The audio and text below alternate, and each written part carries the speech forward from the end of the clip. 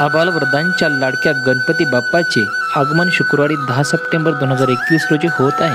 सध्याच्या कोरोना स्थितीमुळे सगळ्यांना आप्तेष्टांना भेटणे घरच्या बाप्पाचे दर्शन घेणे शक्य होईलच असे नाही. कोरोनाचे सर्व नियम पाळून गणेशोत्सव साजरा करूयात. सोशल मीडियाच्या माध्यमातून आपण आपली इच्छा पूर्ण करूयात. मुलांनो अतिशय सुंदर असा निबंध पाहणार आहोत माझा आवडता सण गणेशोत्सव सोपा निबंध आहे लिहून घेऊ शकता. पावसाळा ऋतूमध्ये येणारा गणेशोत्सव हा एक प्रमुख सण आहे. हा सण मराठी महिन्यानुसार भाद्रपद महिन्यामध्ये साजरा केला जातो. भाद्रपद महिन्यातील शुक्ल पक्षाच्या चतुर्थीला गणपतीच्या मूर्तीची घराघरात तसेच सार्वजनिक ठिकाणी स्थापना केली जाते. आधी त्या दिवसापासून ते चतुर्दशी पर्यंत हा उत्सव साजरा केला जातो. या उत्सवाचे एक विशेष असे वैशिष्ट्य आहे परंपरागत चालत आलेले या सणाला लोकमान्य टिळक यांनी सार्वजनिक रूप दिले. गणेशोत्सवाची तयारी ही खूप दिवस आधी चालू होती. भाद्रपद महिन्याच्या शुक्ल चतुर्थीच्या दिवशी लोक मोठ्या उत्साहात वाजत गाजत गणपतीची मूर्ती आपल्या घरी घेऊन येतात. सुंदर सजवलेल्या गणपतीच्या मूर्त्या लोक डोक्यावरून तर काही लोक गाडीतून अगदी श्रद्धापूर्वक घरी आणतात. सारेजण आपापल्या घरी सजावट केलेल्या ठिकाणी गणपतीच्या मूर्तीची स्थापना करतात आणि अगदी मोठ्या तालासुरात गणपती बाप्पा मोर्या या आवाजात सारा परिसर दुमदुमून जातो. सारे वातावरण प्रसन्न होऊन जाते. सगळीकडे आनंदाचे वातावरण तयार होते. सार्वजनिक गणेशोत्सव मंडळी मोठमोठे भव्य मंडप उभा तयार करतात.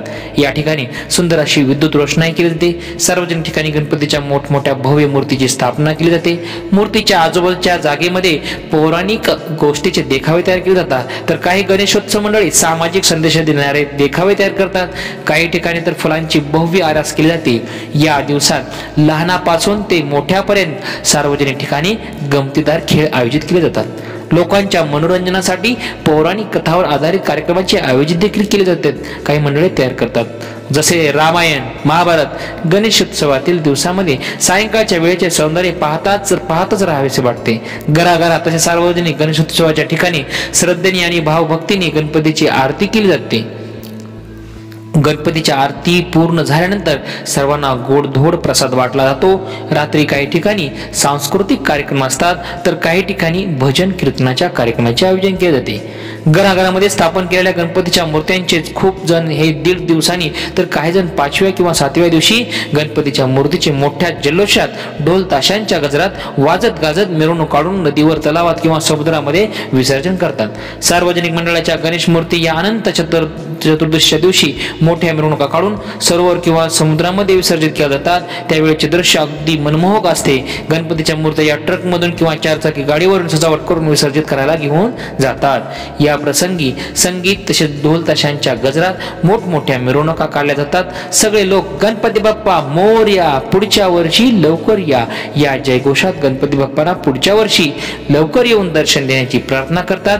त्यावेळी सगळेजण आनंदाने नाचतात. गणपतीच्या मूर्तीचे विसर्जन केल्यावर या सणाची सांगता होते. गणेशोत्सव हा फक्त धार्मिक सण तर आहेच पण त्याचबरोबर हा एक सामाजिक तसेच सांस्कृतिक उत्सव सुद्धा आहे.